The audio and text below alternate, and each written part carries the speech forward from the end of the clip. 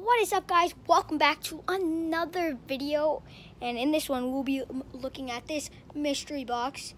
Yeah, you saw it has dirt so it must be an animal, right? I caught an animal, yes I did. And there's only limited animals that could be in there. Limited animals that could actually fit in there and not get out. So, without further ado, let's get into it. Try to spot the animal.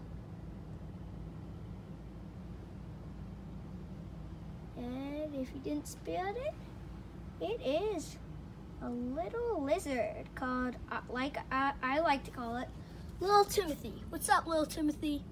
Little Tim.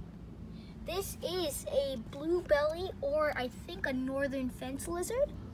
I built this beautiful enclosure, and I will teach you guys in a different video. I will teach you guys how to make a beautiful enclosure just out of uh, at-home stuff that you can have that is perfectly safe for a lizard. So this is a northern fence lizard, also known as a blue belly. Has got pretty good enclosure. It's got some rocks in the sun. Oh, we plop these rocks in here real quick. Go. They've warmed up a bit, or they're not warm, but should do. Uh, you will be going to the wild soon. I'm gonna release him back into the wild soon. Stay tuned for that video though.